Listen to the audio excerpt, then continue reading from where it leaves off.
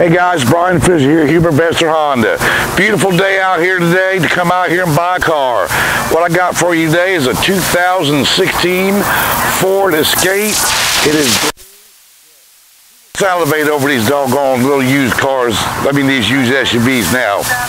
You're looking for a good little small SUV. It's good on gas. You know, it's got your basics. It's got just about brand new tires on it. Um, plenty of space in the back for you, for you and your family. Look, now these days, everybody's looking for the smaller SUV, and here's one that, you know, it's here for you to take. And look, guys, if you're looking for this SUV, come see Brian Fischel because I'll always treat you like family.